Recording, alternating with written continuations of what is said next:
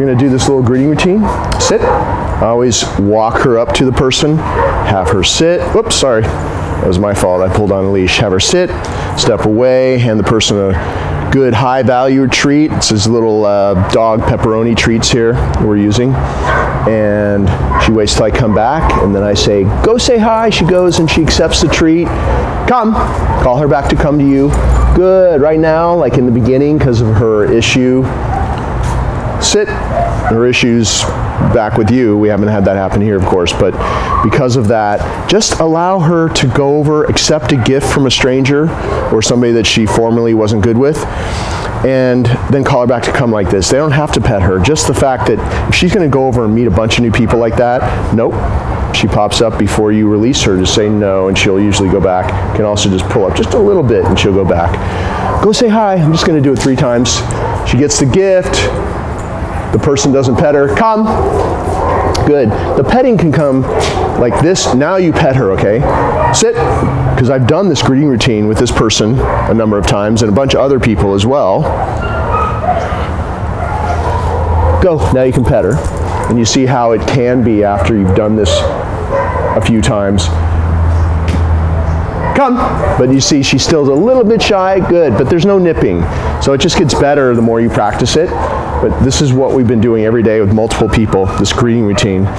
Do it exactly the way we've done it. You always approach the person. The, the person never approaches the dog. That will put her uh, in a stressful state of mind, of course a dog that's like this needs to be sent to the person. That person needs to have a little reward, a little treat there. Don't touch the dog. Just get her used to approaching a bunch of different people. Something good happens every time. You're orchestrating this whole thing with the come command and the sit and the wait while you step away from her, give, give the person a treat.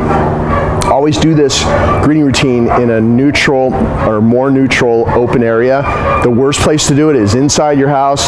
She sees somebody coming in there and she's inside her domain, so to speak, and that's the worst place to introduce a dog like her. It's better your friends, your people that come over, whoever they are, family, they're waiting in the driveway on your yard or wherever when I come and deliver her, I'll, I'll pick a, a spot that's best to do it at your place when I see your place. Um, but an open area outside, uh, more neutral than in the house, in front of your house at least, on the sidewalk, maybe on your driveway. It's the best place to do it. And then over time, you can move it inside, but only after she's been good with multiple people at your house and she hasn't nipped for a while. But this is a great way to get the ball rolling and have her uh, start perceiving new people differently or perceiving people that, um, you know, in general, she doesn't know that well in a, in a good light and thinking it's safe to, uh, to be around them.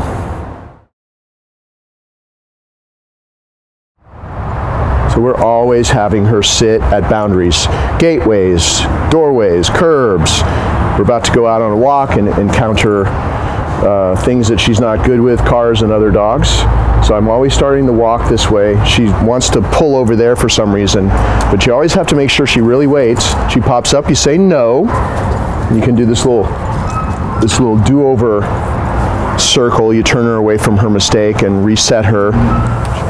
So we're having her wait at every boundary like this before we go on the walk.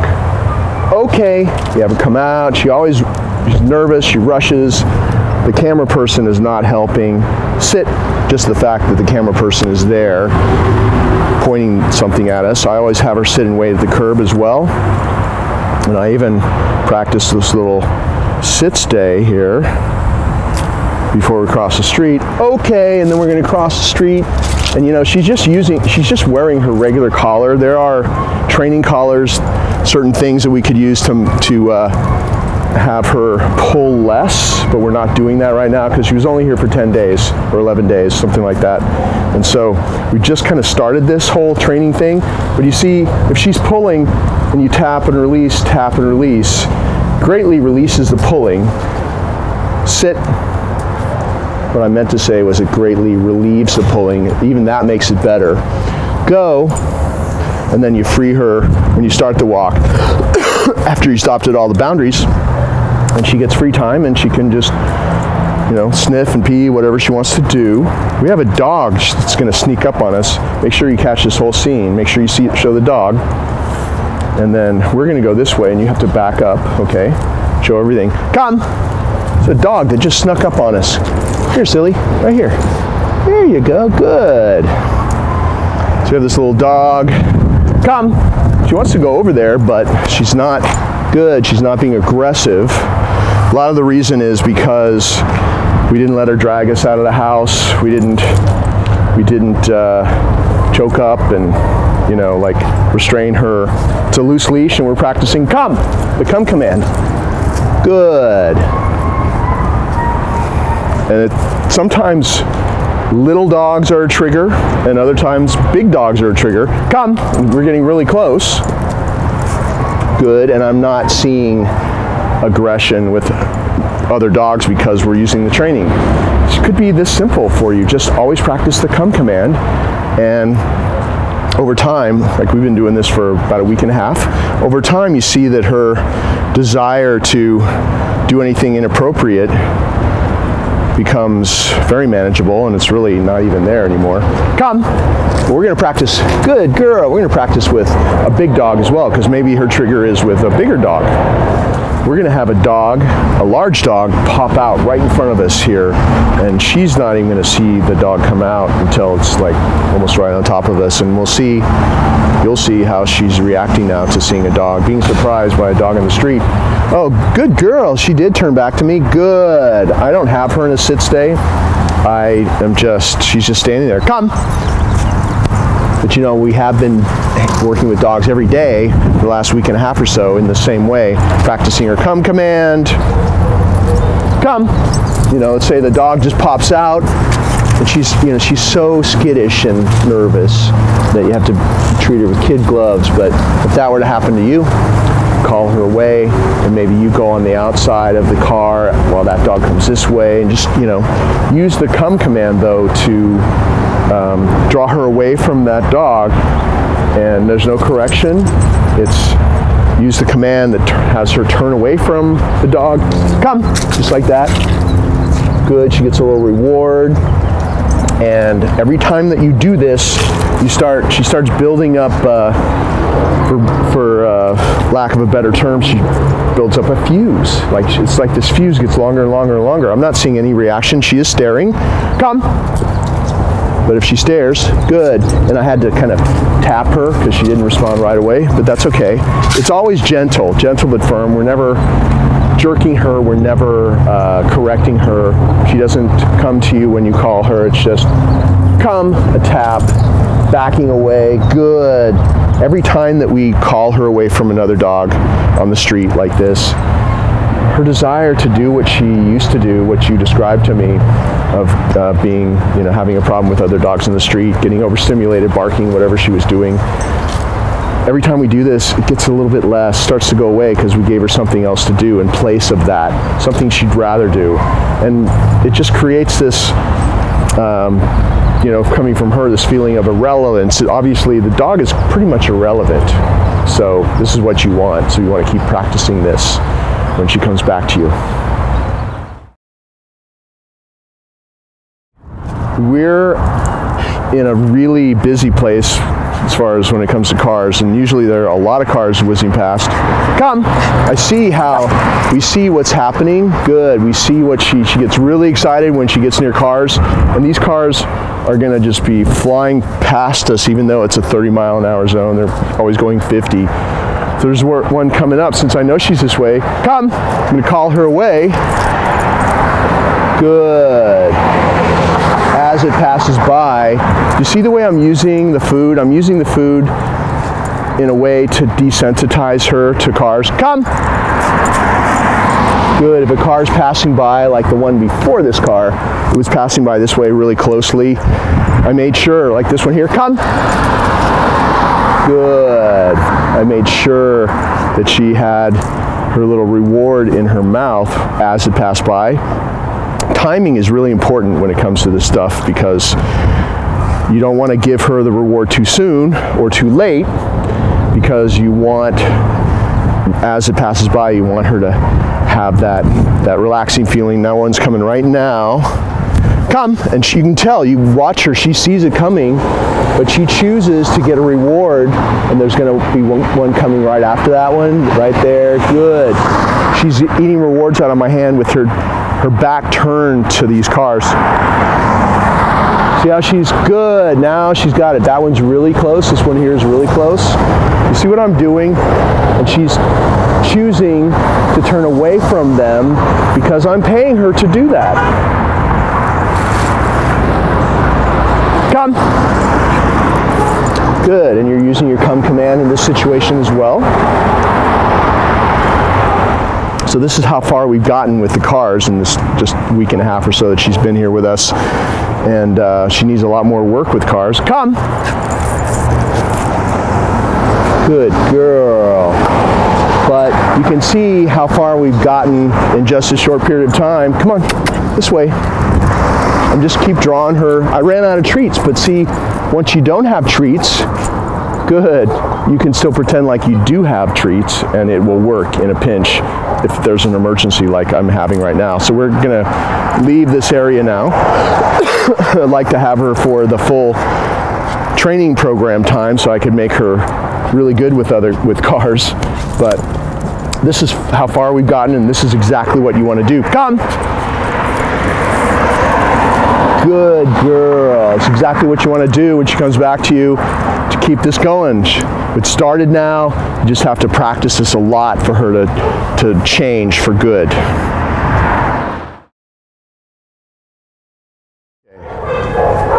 sit. We always have her sit as we lead her up to the mat. She's waiting for me to pat her chest and say, go to your mat, walk over, say down. She's done this every day since she's been here the last 10 days or so. So she knows exactly what to do when you reward her for staying in it down. No, make sure that she waits. Good. See, all I did was I said no and I pulled back. So see how I'm rewarding? No. good. Say good when she takes the little reward. Notice also how when I step towards her, I swing in like this. Good. I don't, I'm not going like this and tempting her to jump up, which that's what will happen, especially a dog that hasn't done this for very long at all. So we practice a downstay, which the basic downstay is where she can accept you walking around both ways good and not pop up. A lot of dogs can't do this. They can't accept their owner walking or standing behind like this. They're going to pop up out of their downstay. But she's gotten that so far.